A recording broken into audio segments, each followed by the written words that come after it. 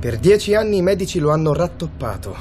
Protesi di metallo in ogni arto, chiodi per stabilizzare la colonna, cinque viti e una placca di titanio nel cranio. Non si può fare una risonanza e neanche le radiografie serviranno. Ogni pezzo di metallo oscurerà qualcosa. E House non è malato. Tu come lo sai? La Caddy lo ha scaricato. Ora si aspetta che lo assecondiamo mentre lui ignora il lavoro e si lecca le ferite.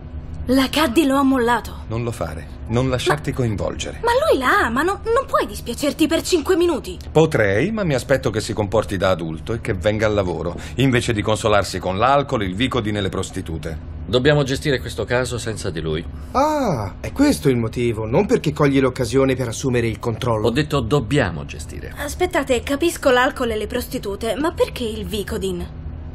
Ma allora è vero che non hai amici qui?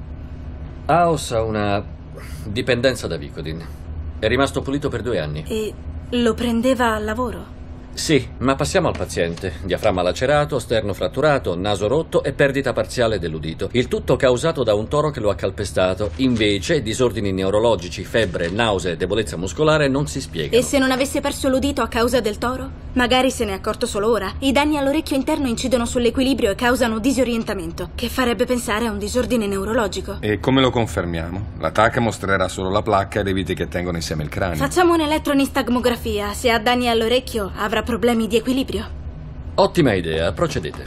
Procedete, davvero? E se uno di noi non fosse d'accordo?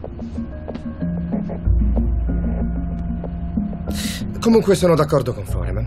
Procedete. Tu sapevi